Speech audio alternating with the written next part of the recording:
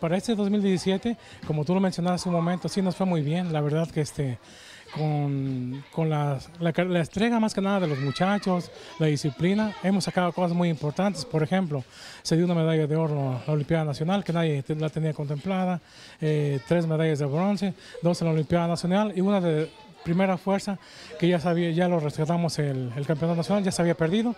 Gracias, afortunadamente ya este, ya dimos la cara otra vez por el estado de Veracruz y gracias a, esos resultados mantenemos a Veracruz en un buen lugar ahora en la tabla de medalleros. Para los Juegos Centroamericanos, básicamente lo van a representar los, los elementos que estén concentrados en el CENAR, en el Centro Mexicano de Alto Rendimiento, allá en la Ciudad de México.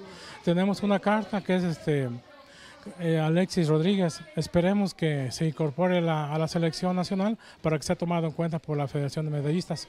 Pero su pase ya lo, ya lo ganó.